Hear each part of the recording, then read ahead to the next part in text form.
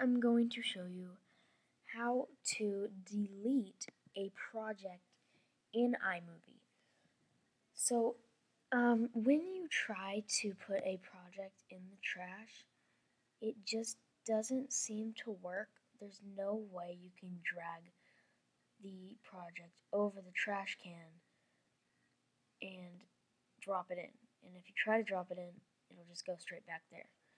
So what you're going to want to do is take um, the project and highlight it. Click File and then move down and click Move Project to Trash. And if you click that, then it will just, um, it will put it in the trash. And then if you just want to delete it for good, you can empty the trash and it will be gone. But um, let's, so there's also a shortcut uh, if you just want to do it on the keyboard, if it's just faster or more convenient for you. Um, so what you want to do is Command Delete. And then, bam, it's gone.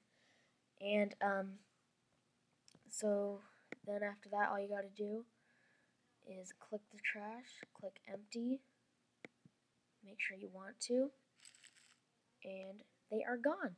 So I hope you like this video. Remember to like, comment, and subscribe. I really want to get your feedback on what you want to see in my videos. And uh, I hope you like this video. Bye, YouTube.